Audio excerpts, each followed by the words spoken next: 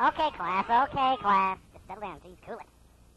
Anyway, we're discussing today David Carradine, man or hero. Uh, we all know that he wore like no shoes throughout the entire show of Kung Fu, and uh, yeah, I, what's your what's your name in the back? It's Patricia. Okay, Patricia. What, what, what, what do you have to say?